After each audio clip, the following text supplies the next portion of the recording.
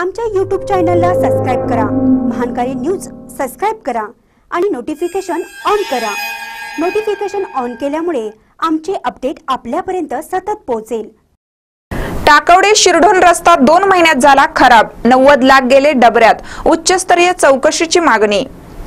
टाकवडे शिरढोण या रस्त्याचं काम अतिशय खराब झालं आहे. सगळा निधी डबऱ्यात गेला आहे.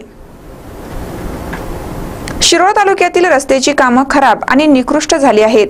याचा आणखी एक उत्तम नमुना टाकवडे शिरढोणचा रस्ता नव्वद लाख रुपये खर्चून दोन महिन्यापूर्वी करण्यात आला होता. आणि आता हा रस्ता खराब झाला आहे. सरपंच आणि उपसरपंच यांनी इथल्या भ्रष्टाचारावर आवाज उठवला होता पण जयसिंगपूरचं सार्वजनिक बांधकाम खातं लक्ष देत नाही. अधिकाऱ्यांबरोबर कंत्राटदारांचं असलेलं साटलोट याचमुळे निधी डबऱ्यात चालला आहे. हा रस्ता अतिशय खराब झाला आहे. नव्वद लाख रुपये खड्ड्यात गेल्यानं लोकांच्या जीवाला लागला आहे. जर उच्चस्तरीय चौकशी झाली तर मोठा घोटाळा पुढे येण्याची शक्यताही नाकारता येत नाही. मानकर न्यूजसाठी टाकवडीहून संदीप इंगळे.